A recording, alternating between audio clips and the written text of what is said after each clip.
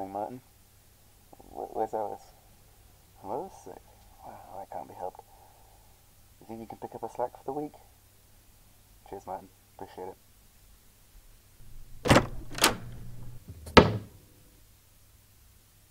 Bills. But why am I being sent bills? I'm the archivist, not the bloody accountant. Well, maybe. Well, maybe something terrible happened to the accountant. Who are you? How'd you get in here? Are you really telling me you don't recognize this face? I thought it was rather fetching. I'll enjoy using it. What? What happened to the accountant? Don't you know? You were. Don't you know? Don't you? You know? were the one who did it. You were the one. Surely you recall what her eyeballs felt like as you squished them with your thumbs. Would have like What her screams would have sounded like if you hadn't. like if you hadn't. Well, I'm sure you know what you did. Okay, okay, I, I, I get the idea. Thank you. You can leave now. Archivist. Oh, archivist. I'm disappointed. in you. I'm disappointed. disappointed in you. You don't inquire about my existence, You don't my even looks. try to behold You don't even me. try to behold me. I'd heard such good things about the new I'd heard such archivist, good things about but it seems we're starting back at square one all over starting back at again. Square one, all over again. Enough games. Enough messing around. Who are you? Ooh. so that's what that feels like. I, I'm the head archivist of the Magnus Institute, London. Your replacement.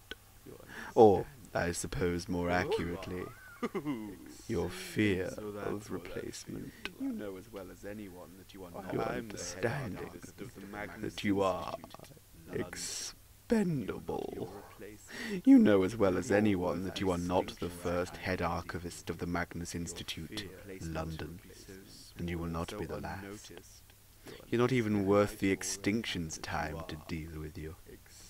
Your replacement would be so small, so unnoticed, it might have already happened. But you knew that already. You already knew that you were replaceable. But are you really telling me that when you look in the mirror, you don't recognize this face staring back at you? Okay, okay. Shut up. You've made your point. You can leave now. Ooh, feisty. You've picked a feisty archivist. Look at you. Got bored of doormats, eh? Who, who are you talking to? How, how, how are you so naive? I've listened to your tapes. This is gross misconduct, as this is quite clearly the actions of one of the entities. Most likely the slaughter, giving the seeming randomness of the attack, although it is possible that the hunt had been stalking this group of friends for a while, making them a suspect. I leave for coffee for ten minutes, and they let a statement be made that is clearly screaming corruption, and they just let him walk away?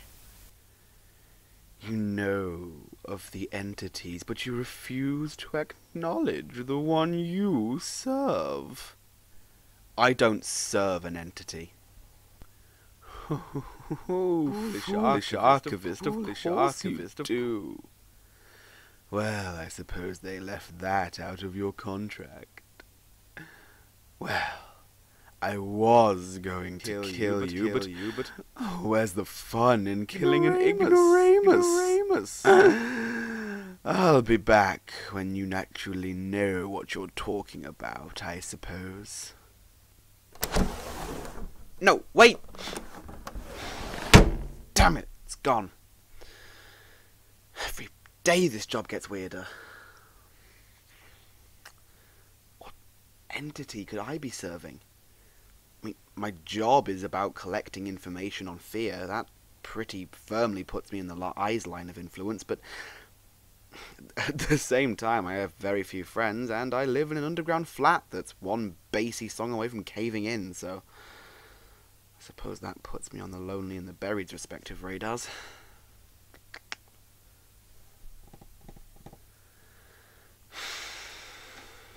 This gives me a lot to think about.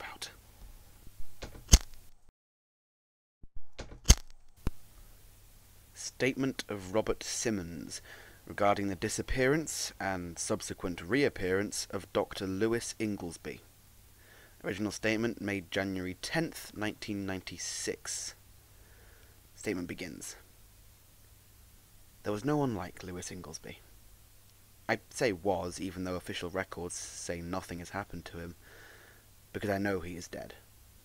He has been replaced by some some creature, a, monster straight from the old stories of changelings and the fair folk. It started last June.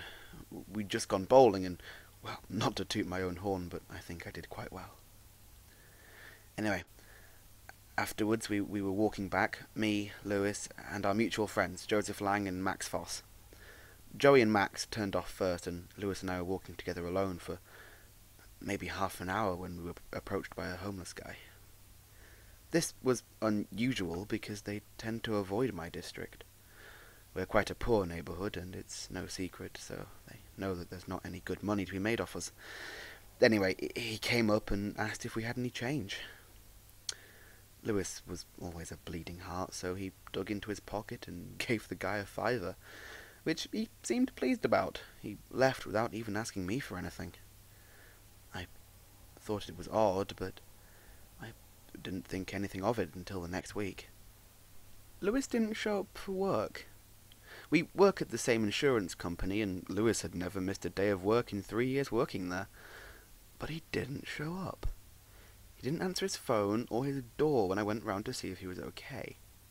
He was completely MIA for a week. Then, one day, he just turned back up. Except, it wasn't him. It was the homeless guy from last week.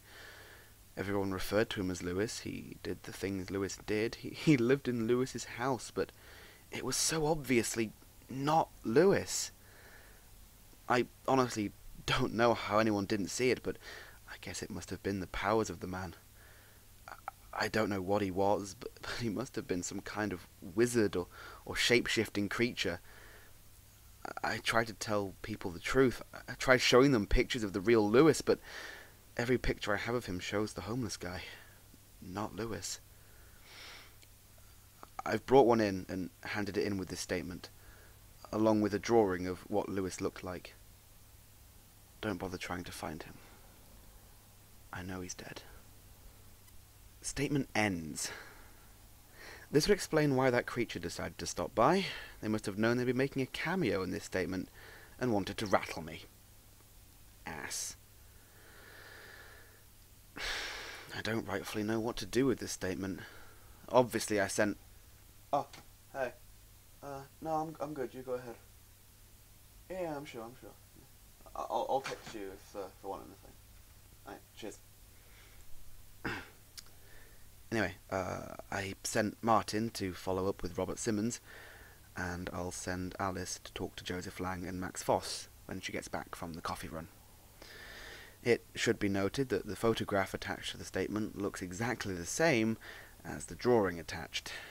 Maybe he sent in the wrong one? Or maybe he was more influenced by the stranger than he realized. Mm, this is all rather stressful. Maybe I will get that coffee after all. Nothing new from any of the follow-ups. Complete dead ends. Further investigation would be a desperate waste of time. End recording.